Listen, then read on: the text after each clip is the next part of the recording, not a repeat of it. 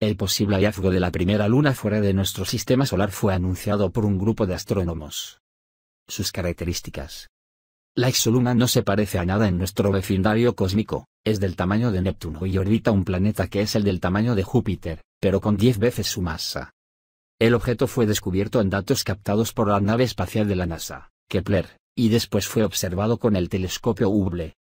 La revista especializada Science Advances publicó los resultados de los astrónomos David Kipping y Alex T.H., quienes aclararon que se necesitan más observaciones para entender el sistema planetario lejano.